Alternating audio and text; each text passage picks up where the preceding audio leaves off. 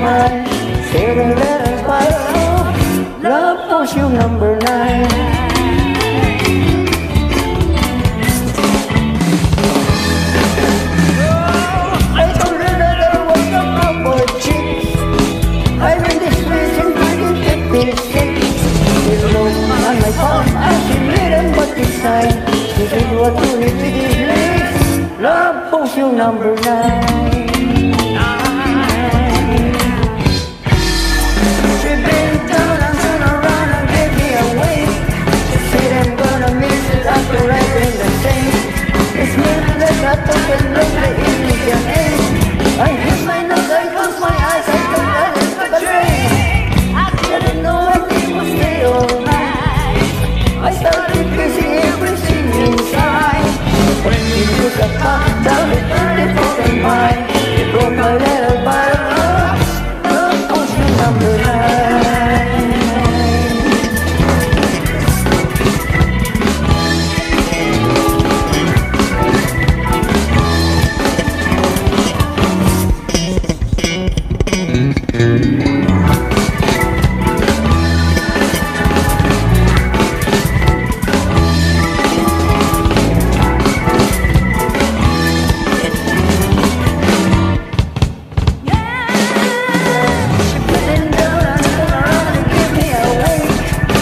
been gonna make a cup of tea.